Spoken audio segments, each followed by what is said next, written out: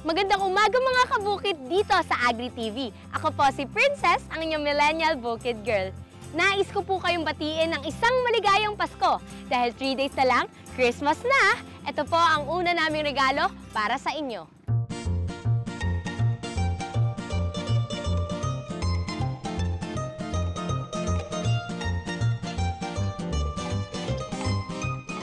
Magandang umaga po mga ka-Agri TV.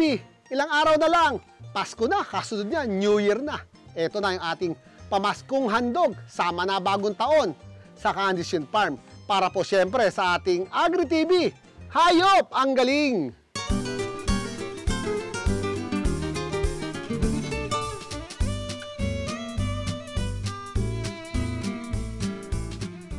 Yan. So bago lahat, dilinisan natin yan. So, paano kami maglinis? Pag naglinis kami, talagang ginagamitan pa namin yan ng dishwashing. Okay, Mang Nardo, ano natin ang iskoba natin yan. Kailangan linis na linis.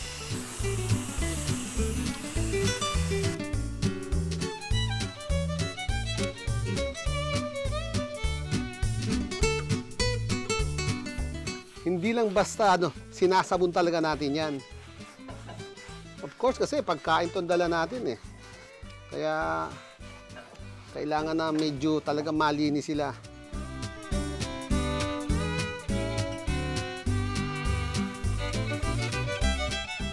Mga ka-agri kami, tutok talaga rito sa paglilinis nito, no? Kasi, siyempre, gatas. Eh, pagkain yan eh. So, may kita point na talagang linis na linis yung ating kalabaw para walang contamination na mangyayari doon sa ating maipoproduce na gatas.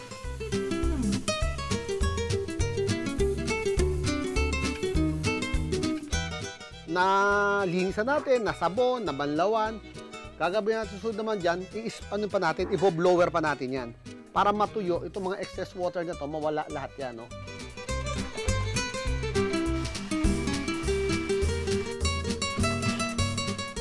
Ito yung lactating pellet nila, no? So habang ginagawa namin lahat yan, binibigyan namin ng konti-konti yan. Bakit? Para nalilibang yung kalabaw. Kasi alam mo, para bang, at pag yung pleasurable yung ginagawa, yung nangyayari sa loob, mas relax siya. Mas relax siya, mas maraming gatas. So yan, pag natuyo na yan, nalinis na yan, tatawagin naman namin, kukunin na namin yung bulo, yung guya. Ayan po, ayun lahat ng nipple niyan ay dededehan itong ating bulo. So para bang magalit na siya. Yung dire-diretso na yung paggatas niya. So yun yung trabaho. Trabaho ng ating bulo. After niyan, away na yan. Kasi hihigitin naman niya yan. Kaya tayo may tali naman doon para sa kanya. Ngayon, napansin ko, hindi ko inilalayo yung bulo. Diyan lang yan nakatali. Kasi I find it na medyo mas relax si nanay pag endon lang yung bulo niya itong process na to as much as possible very pleasurable dun sa nanay. Ayan po ngayon, kakabitan na natin yan ng ano, kakabitan na natin yan ng milking machine.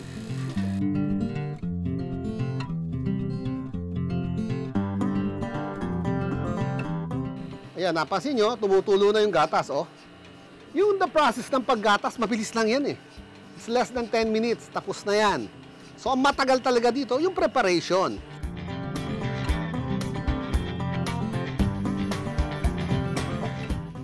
Ito po yung ating iodine dip.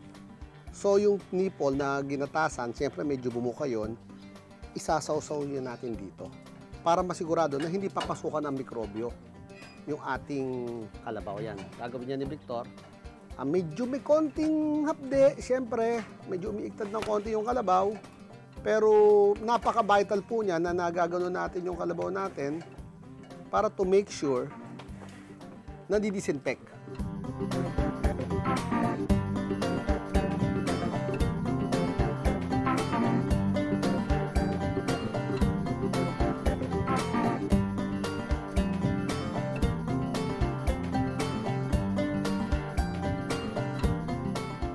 May gatas na tayo ng kalabaw. Ngayon, ano gagawin natin doon sa gatas? Nung magsimula ako, isa lang ang nasa isip ko. Magtitinda lang ako doon sa tabing ilog ng Marikina. Kasi po ang dami po na yung mga nagja-jogging doon tuwing umaga. Ngayon sabi ko, aba, Dami ko ng gatas, saan ko pa dadalhin yan? Mapapanis lang to pag hindi ko naibenta lahat. Paano pag umulan?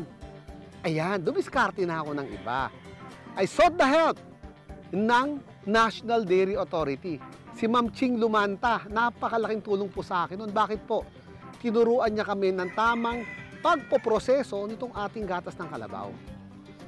Value adding ika nga, ang sabi nga nila, inataguri nila, tinuruan nila akong magproseso, gumawa ng kesong puti, gumawa ng yogurt, gumawa ng leche plan, at alam nyo, ang dami niya na naituro sa akin na kung sakali na dumating na hindi mabibili yung gatas mo, ay meron kang pagdadalan kasi po itong ating mga kalabaw na yan, araw-araw gagatas yan.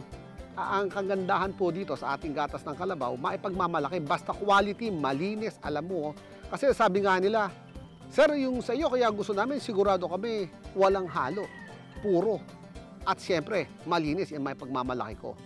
Sabi ko nga, pag ganun yung ating produkto, masisa mo dalhin yan, po pwede po yan.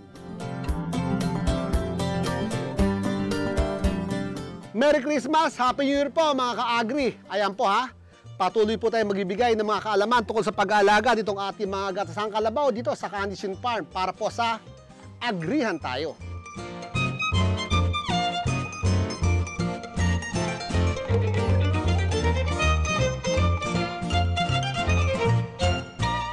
Maraming salamat po, Sir Charlie, sa mga nabahagi nyo dito sa Agrihan Tayo. Magbabalik po ang Agri TV, Hayop ang Galing!